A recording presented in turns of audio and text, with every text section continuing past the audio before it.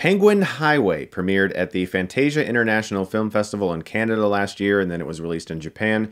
Went through a lot of film festivals, animation based ones primarily, and will soon be released in America here in the coming weeks. And this is directed by Hiroyasu Ishida, and is his first feature, which follows a young boy who's extremely smart. He's in fourth grade, way ahead of everyone else in his class. He takes extensive notes of everything that he discovers or things that he's curious about. He conducts experiments regularly. His father gives him chores to do, and most of these chores revolve around some sort of scientific experiment or exploration, and he's extremely excited about doing this. And one day, penguins show up in a park. There's no explanation for why the penguins are suddenly there, and of course, as a young budding scientist, he wants to explore why this happened. And in so doing, he embarks on an adventure with another student from his class who's also interested in science. Together, they study another strange find in a nearby forest, while at the same time, he's experiencing his first ever crush on a dental assistant who's a lot older than he is, and she might just so have a weird connection with all of these events. Penguin Highway is one of the strangest films I've seen in a long time, and it's perfectly fine with being that. In fact, this film does not care about rules. It is filled with so many unexplainable events and phenomena, and it asks us to accept what we see and roll with it. Now, don't get me wrong, this is no Masaaki Yuasa film like Mind Game or Night is Short, Walk On Girl there's a sensible storyline that develops throughout this film, even though I love both those movies I just mentioned. This film looks at unexplained phenomena through the eyes of a fourth grader, and his view of these events are different from what most adults would expect. If there were penguins suddenly in my front yard, for instance, I'd probably be freaking the fuck out. But this kid just grabs a notebook and starts taking notes because he's free still. Even though he's a lot smarter than the other kids his age, he still looks forward to things like this happening, and he views it as an opportunity to advance his knowledge of the world. And this film reminded me what it feels like to be a child, to feel that freedom, to not put so much effort into caring about the things happening around me, but to focus purely on the things that inspire me and that excite me creatively. In the case of the boy in this film, it's not about creativity, it's about the knowledge. It's about looking for an answer, searching for something, digging really deep to figure out why these insane things are happening all around him. And the movie hopes that as audience members, we're not going to look at it and go, what the hell's going on? Why is all of this happening? It wants us to just enjoy the ride. And even with his older friend in the film, the dental assistant, she is still trying to figure out exactly what her place in the world is.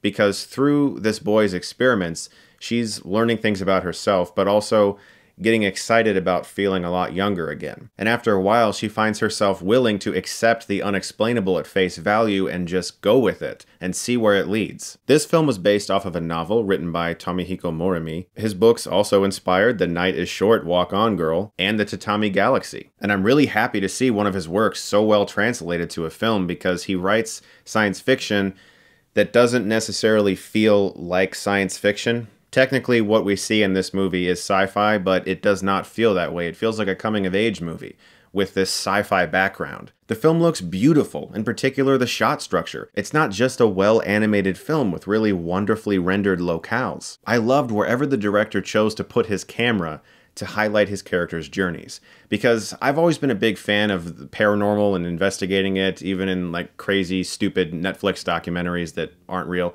but are fun to watch. Whenever I see a film that uses that as a backdrop to tell a story that feels like it has emotional weight, that's just so satisfying to me. And everything about this movie came together really well. But there is one storyline about it that I thought was just a little weird because it has a major element to the plot and that is this crush that this fourth grader has on the older girl.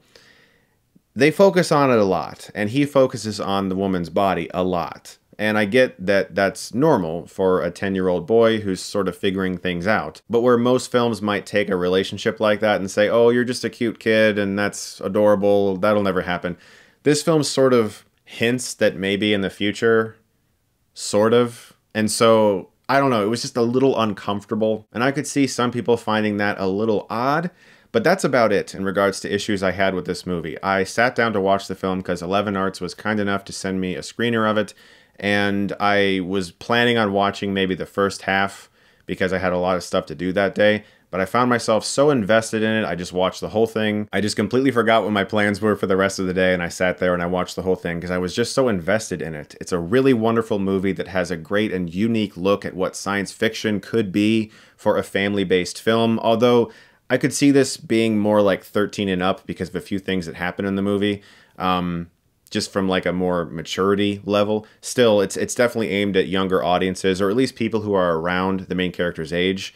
And to see a film like this that has this sci-fi elements in it, it's just really refreshing. I'm gonna give Penguin Highway an A minus. Guys, thank you so much as always for watching. I'm excited for more people to see the film and for it to get a release in the United States. As always, guys, look forward to more reviews very soon. And if you like this, you can click right here and get Stuckmanized.